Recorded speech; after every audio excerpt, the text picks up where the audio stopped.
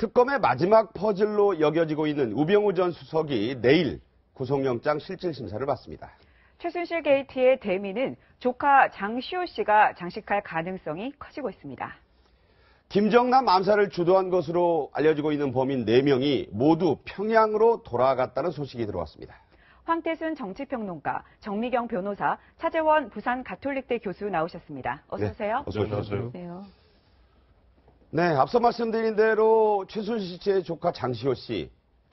작년에는 모든 걸 다 이모가 시켜서 자기는 한 거다. 이렇게 얘기했었죠. 그 장면, 그 얘기부터 들어보겠습니다. 저는 최순실 씨가 지시를 하면 또 따라야 되는 입장이고 네. 또 이모인데다가 뭐 거슬릴 순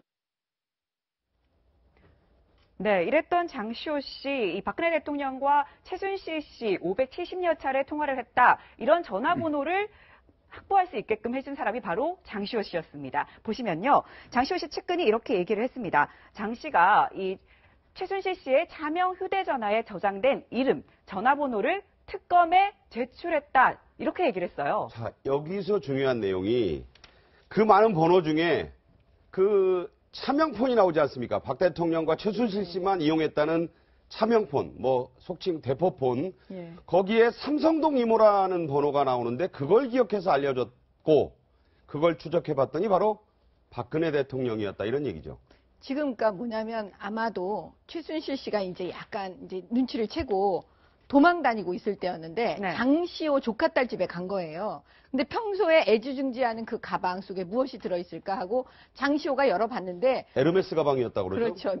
명품 가방이었대요. 근데 그 안에 그 대포폰이 세 개가 있는데 하나는 윤전추, 하나는 이영선, 아, 안, 안봉근. 안봉근이죠. 안봉근, 네. 그 다음에 하나가 이제 삼성동 이모. 그러니까 이모인데 이모를- 삼성동 이모였다. 예, 그러니까 박근혜 대통령을 가리키는 거죠. 왜냐하면 삼성동 사저를 아마 생각해서 삼성동 이모라고 네. 이렇게 부른 것 같은데 문제는 뭐냐면 저는 더 웃긴 건 뭐냐면 보통요 이모하고 그 조카 딸 사이는 그래도 어느 정도는 좀 도와주거든요. 네. 일- 그러니까 자기가 살기 위해서 일정 부분을 우리가 이제 검찰에서 턴다고 하는데 네. 얘기를 해줘도 털어도 그렇게 많이 털지는 못해요. 네, 네. 보통의 경우에는 네. 제가 볼 때 장시호 씨가 어머 세상에 그 안에 있는 세 가지 그 전화번호도 애워서 특검한테 얘기해 주지요.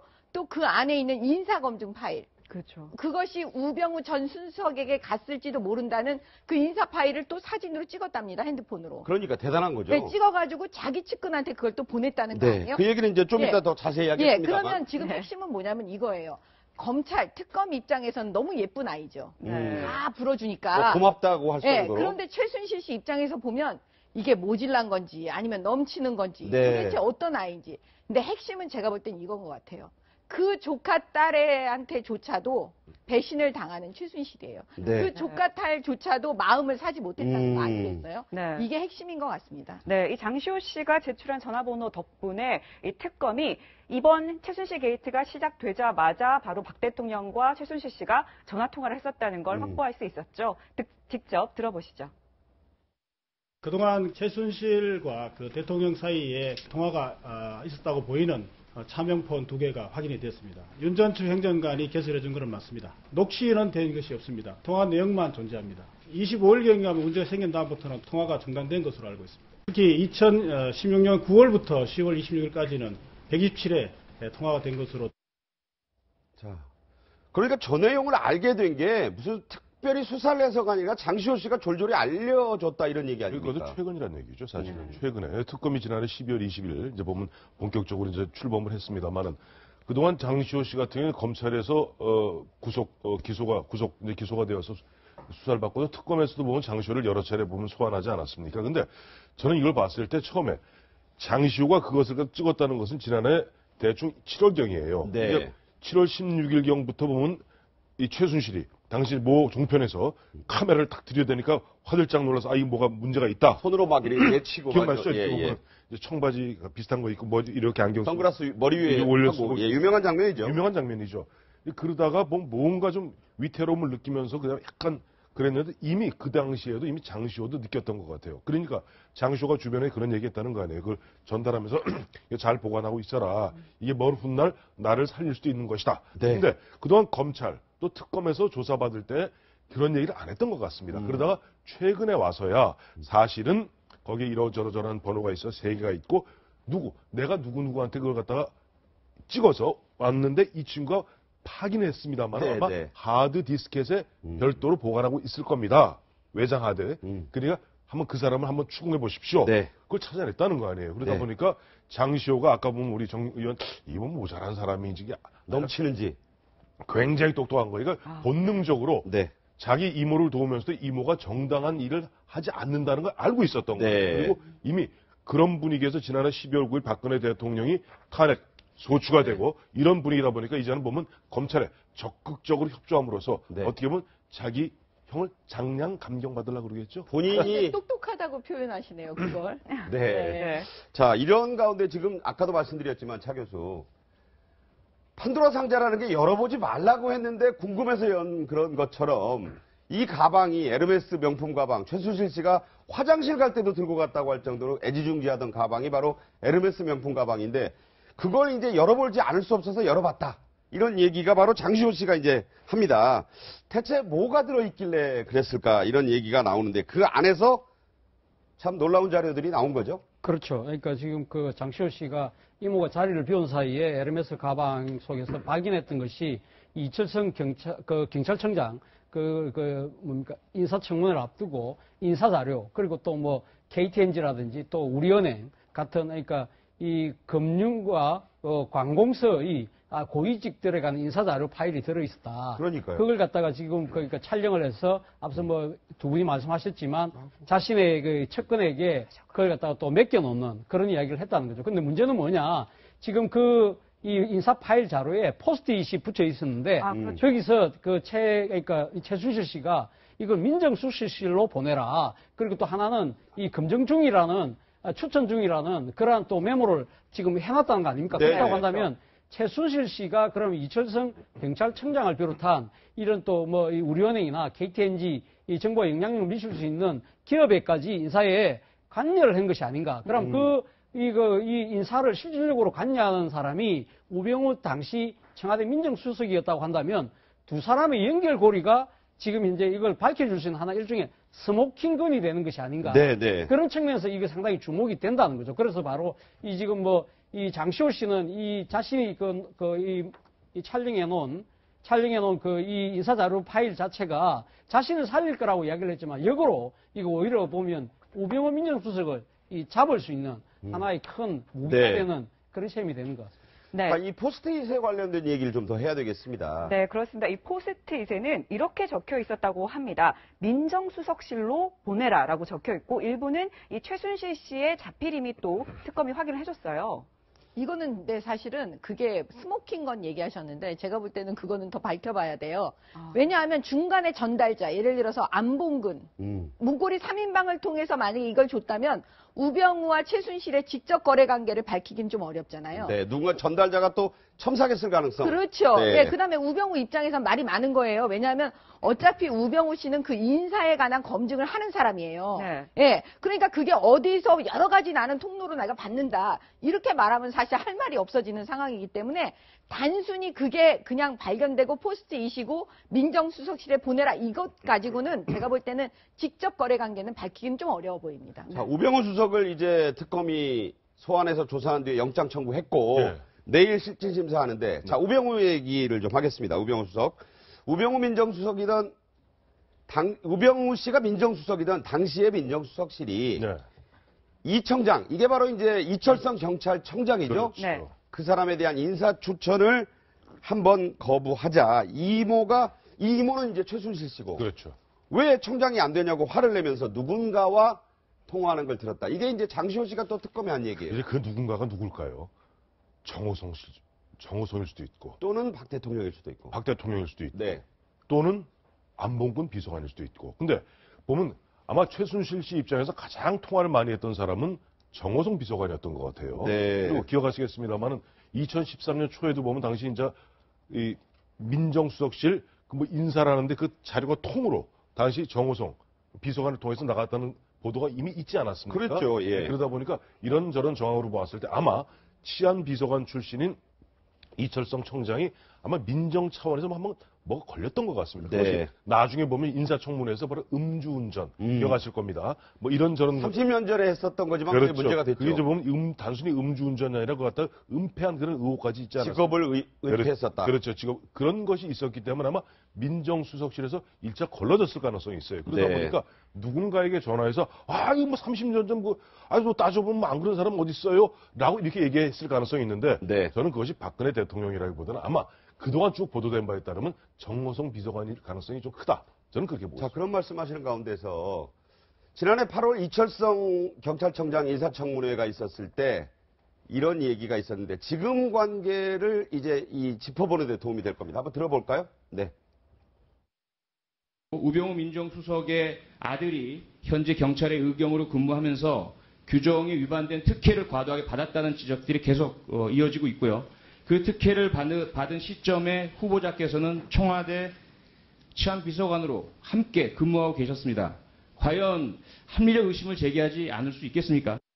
오히려 지금 이 우수석의 아들을 꽃보직에 배치하도록 압력을 행사한 인물이 있고 그 인물을 경찰이 조직적으로 지금 비호하고 있는 것 아니냐라는 의혹이 제기될 정도입니다. 적극적으로 수사에 협조하시겠어요? 안 하시겠어요? 예, 수사에 협조하겠습니다. 적극적으로 수사, 수사에 협조하시겠죠? 예. 예. 네, 지금 보시면 자, 최순실 씨는 이철성 청장을 추천을 했는데 누군가에게 얘기했는데 안 돼서 화를 냈고 이후로 우병우 수석 아들에게 뭐 꽃보직 수사 관련해서 꽃보직을 제공했던 것 관련해서 뭔가 얘기가 나오고 개연성은 있어 보이는 것 같기도 한데요. 그 개연성이 있어 보입니다. 아까 우리 그정 변호사께서 뭐 두 사람의 관계를 직접적으로 이 그 자료 자체는 바로 연결시킬 수 있는 그건 아니라고 하지만 일종의 단서는 충분히 특검이 확보를 한 것이 아닌가 하는 생각이 네. 듭니다. 그래서 이 부분에 대해서 아마 이 상당히 수사에 초점을 맞추겠죠. 그러면 이제 합리적으로 추측을 해본다고 한다면 네. 당시 그러면 그 치안비서관이었던 이철성 이 지금 그 이 치안비서관이었지 않습니까 청와대 그렇기 때문에 본인 입장에서는 아마 어떤 식으로든 그, 그 우병우 민정수석에게 자신의 인사검증을 맡길 수밖에 없는 그런 상황이기 때문에 어떤 식으로든 우병우 민정수석에게 뭔가 이 특혜를 베풀어 줬을 그럴 가능성은 상당히 높아 보인다. 네. 그런 부분을 아마 특검에서 상당히 지난번 그 아들의 그 이그 꽃보직 논란과 관련해서 이 지금 그 경위 담당 경위를 계속적으로 불러서 그 집중적으로 물어봤던 이유도 바로 이러한 그 단서를 확보했기 때문에 네. 그런 것이 아닌가 하는 생각이고요. 근데 어쨌든 지금 뭐 이 우병우 수석은 어제도 들어가면서 자신은 모른다고 이야기를 했지 않습니까? 네. 끝까지 모른다고 이야기를 하고 있는데 제가 봤을 땐 그렇습니다. 우병우 이 전 민정 수석 입장에서는 최순 실을 몰라야 되죠. 왜냐하면 자신이 이 치안 그 어, 민정비서관으로 발탁될 때 그리고 민정수석으로 또 다시 승진될 때 이것이 최순실 씨와 자신의 장과의 인연 때문에 비롯됐다는 이야기들이 계속적으로 나오고 있기 때문에 자신의 입장에서는 그러한 부분을 원천 봉쇄하기 위해서라도 자신은 이 최순실을 몰라야 되는 거죠. 네, 그래서 네. 제가 봤을 때는 일종의 스스로 무능한 바보를 자처하고 있는 것이 아닌가 하는 생각입니다. 네. 자, 지금 속보가 들어온 걸 잠깐 얘기를 좀 나누겠습니다. 헌재가 22일 전까지는 박 대통령의 출석 여부를 확정해달라라고 지금 이제 대리인단 측에 얘기했다. 어떤 의미를 갖습니까?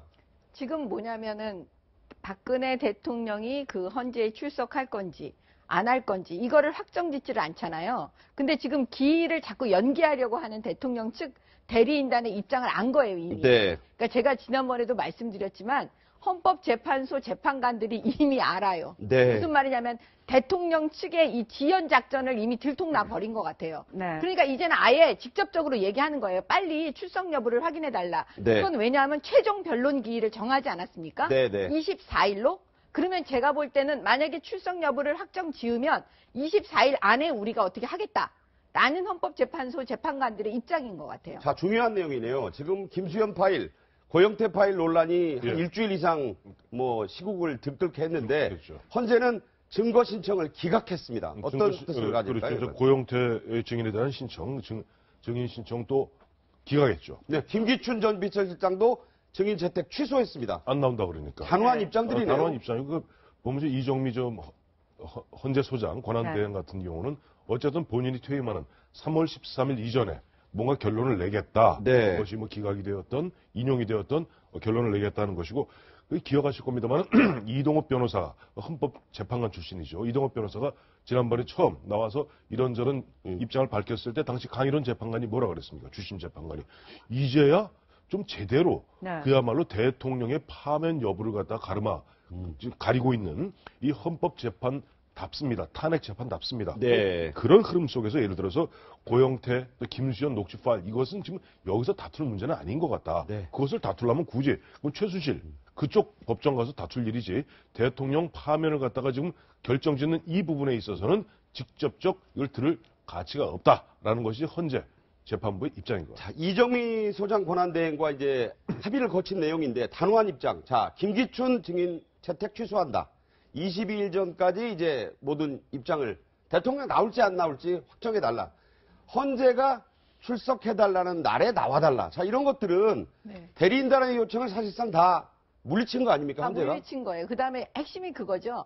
이정미 재판관 그 그만두기 전에 선고하겠다는 뜻이에요. 3월 13일 이전에 예, 무조건 선고한다. 예. 근데 제가 이제 여기서 말씀드리고 싶은 건 뭐냐면 대통령 측 대리인단은 이걸 졸속 재판으로 몰고 갈 수가 있어요. 근데 헌법재판소에서는 결국은 이 얘기인 것 같아요. 당신들이 열심히 하지 않았잖아. 네. 열심히 안 하고 자꾸 지연만 시키는 거에 대해서 우리는 쐐기를 받겠다. 이런 음. 뜻인 것 같습니다. 그렇다면 이제 3월 9일에서 10일이 아니 뭐 나올 가능성, 심판이 아니, 내려질 가능성이 어, 있지 않나요? 이미 어제 그제 계속 나오는 보도는 예를 들어서 이정미 재판관이 퇴임을 하는 음. 3월 13일도 오전에 내릴 수가 있답니다. 당일 날도. 당일도 그러니까 그러나 그렇게까지 뭐 아니 아니 그. 그, 그 렇지 않죠. 네. 예를 들어서 지금 박근혜 대통령 측에서 뭐 기일을 계속 이렇게 요구하고 있어서 하면 사나흘 정도 말미를 줄 가능성은 있다는 거죠. 네. 그러니까 아까 조금 전에 정미경 변호사 말씀하신 대로 가장 중요한 것은 지금 여기에 반대하는 세력들도 있습니다. 네. 반대하는 이른바 태극기 집회 쪽에서 계속 얘기하는 것은 이른바 절차상에 있어서 왜 이게 졸속으로 음. 급히 뭐에 쫓기듯이 하느냐. 그러니까요. 네. 거기다 왜 고영태 그쪽에 한번 나가 보시면은 그 계속 고영태 김수현 파일을 얘기하고 있어요. 그러니까 일반 이쪽 저기 나오, 나오는 사람들 입장에서는 고영태 그 김수현 녹취록 녹취 파일이 그것이 헌법재판소의 어떤 법리적인 판단과는 달리 네. 실제 감정적으로는 이게 왜 왜 안 들어보고 음. 왜 이것도 고영태도 꼭꼭 꼭꼭 숨어 있는 고영태도 왜 안 들어보고 이렇게 졸속으로 가고 음. 박 대통령 파면하는 네.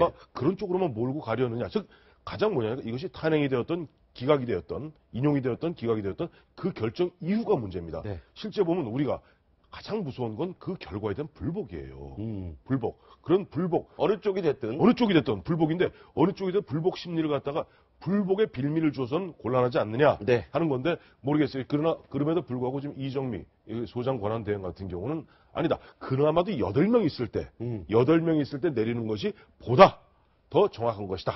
정확한 말씀은 어쨌든 이정미 소장 대행이 내가 있을 때 끝내겠다. 지금 이런 의지를 오늘 거의 쐐기를 박은 거다. 지금 말씀처럼. 그러니까 그런 거 공정성? 못지않게 신속성이라는 부분에 대해서 상당히 이 무게의 중심을 둔 거죠. 그러니까 지금 만약에 7인 체제가 됐을 경우에 그때 나오는 그러니까 판결의 결과에 대해서도 상당히 공정성 부분이 문제가 될 수 있지 않겠습니까? 네. 이정미 재판관의 입장에서는 본다고 하면 뭐, 뭐 이정미 재판관뿐만 아니죠. 헌법재판소 입장에서 본다고 한다면 그 그러니까 공정성 못지않게 신속성이라는 부분이 담보가 돼야 공정성이 보장이 된다는 거죠. 근데 네. 사실 이 이정미 그러니까 헌재 소장 이 근한 대행이 3월 13일 퇴임하지만 퇴임 외에도 그러니까 퇴임 전에 자신이 평의에 나가서 자신의 견해를 밝히고 나간다고 한다면 그 이후에 선고가 된다 하더라도 사실상 헌법재판소의 헌법재판관은 네. 8인 체제가 유지되기 때문에 네. 사실 그러니까 자신이 떠나기 전에 평의에서 참석해서 자신의 뜻을 밝히고 가면 된다고 합니다. 그렇기 때문에 나름대로는 헌재가 상당히 좀 여유가 있지만 그럼에도 불구하고 오늘 상당히 그 일정을 타이트하게 몰아가는 부분은 이 그 대통령과 대통령 법률 대리인단 측의 지연 작전에 말려들지 않겠다 그러한 의지를 상당히 그 내외에 천만한 것이 아닌가 하는 생각입니다. 자, 재판부가 지정한 날에 대통령이 나와달라고 얘기한 것은 또 이런 데 초점이 모아지고 있습니다. 박 대통령이 나가서 뭘 해도 별 소용이 없다 이런 느낌이 드는 것 같은데 이런 얘기죠? 네, 대통령 대리인단이 이 대통령 출석과 관련해서 지금 이런 요청을 했었습니다. 박 대통령이 최후 진술을 위해서 헌재에 출석할 경우 신문을 받지 않게 해달라라고 얘기를 했는데 헌재는 오늘 22일까지 대통령 출석 여부를 확정해라 이렇게 얘기를 했어요. 그럼 이걸 받아들인 건가요? 아니 아직 그거는 받아들이고 안 받아들이고 표명하지 않았어요. 일단 나올지 안 나올지를 결정해 달라. 그 다음에 그거는 답변을 하겠다 이런 뜻인데 제가 볼 때는 저건 헌법재판소에서 결정할 수 있습니다. 네. 신문 안 받고 그냥 최후 변론만 할 수도 있어요. 네. 근데 제가 볼 때는 그걸 국회 측에서 가만히 있지 않을 거예요. 음. 예, 그래서 그 대통령의 최후 진술을 저렇게 뭐 신문은 안 하게 해달라, 그냥 최후 진술만 하게 해달라. 저는 저 대리인단에 대해서 묻고 싶어요. 왜 대통령을 자꾸 저렇게 자꾸 이상하게 모습을 만들잖아요. 당당하지 못하게 만들잖아요. 그냥 헌법재판소에 나가면 국회 측 신문도 내가 받겠다. 난 최후 진술을 하겠다. 이렇게 당당하게 나가셔야 더 이롭습니다. 네. 지금 헌재 취재 기자 얘기는 이런 얘기가 들어왔습니다.